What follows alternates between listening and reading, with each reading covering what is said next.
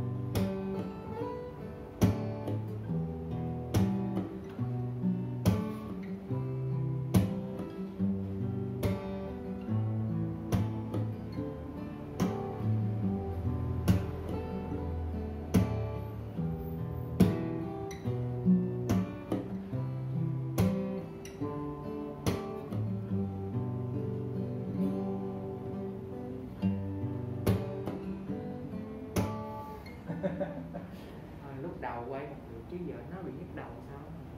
Đừng có áp lực là phải liền mạch từ đầu đến cuối. Đây chỉ là một bài tập giống như là một tập thể dục mỗi ngày. Nó cần đều đặn. Chứ mình không quan trọng cái, cái quá trình mình chơi. Chứ không phải là cái kết quả mình chơi được. Cái quá trình mình chơi con cảm thấy vui là được. Chứ không phải là để đến một cái lúc hoành tráng lên sân khấu không phải như vậy. Mình chơi mỗi ngày mình tập trong từng phút từng giây, mình cảm thấy vui. Đó. Thì bị vướng chỗ đó, thì mình chỉnh chỗ đó thôi. Thì bắt đầu lại từ cái dòng nhạc đó là được rồi. Rồi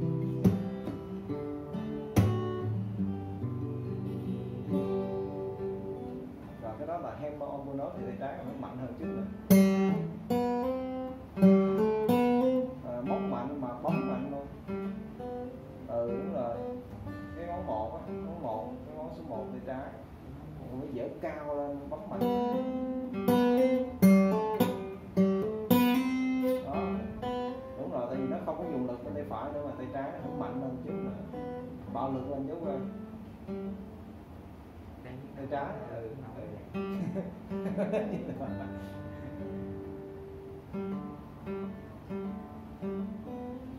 đúng rồi nhưng cần mạnh mẽ hơn chút nữa là được ha. Đâu thử bắt đầu từ cái dòng cái trang số 3 đó. À, chạy trang số 3 trở lên cái nhịp vô. Two three four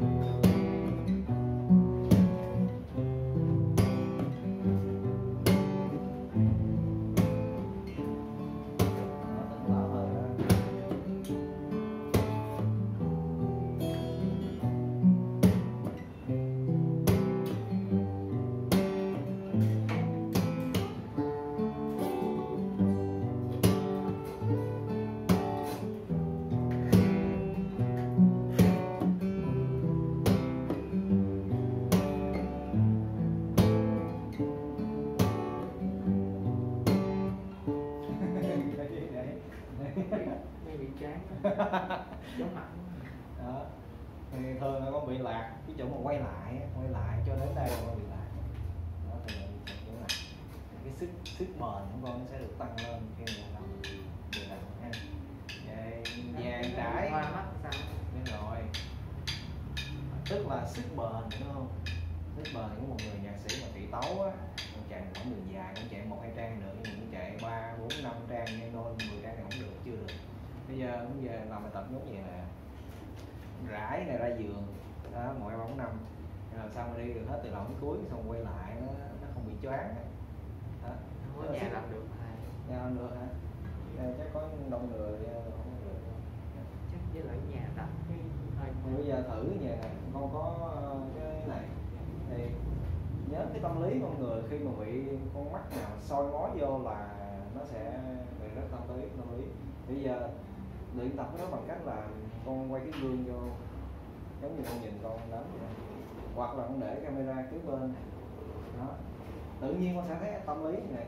Nhưng mà đây là một cái bài luyện tập để sau này ví dụ như con chơi ban nhạc sân khấu con sẽ không bị khớp nữa nó thiệt một cái bài luyện tập con chỉ là đơn giản thôi lấy camera để cái bài con quay, mình con khỏi gửi ai coi cũng được không gửi thầy coi cũng được. Nhưng mà cái đó là để cho bản thân mình tự động nó giải quyết cái vấn đề tâm lý, nó không bị khớp nữa vậy cứ thử đi. Thì bữa sau con lên đây con sẽ đánh được. Và sau này con đứng với mọi người đứng trên sân khấu con không bị khớp nữa. Sau này tỏ tình với bạn gái cũng không bị khớp nữa thiệt thử đi. Nha. Rồi ở đây dừng ở đây. à, em cho quân thêm bài tập cho em. Đánh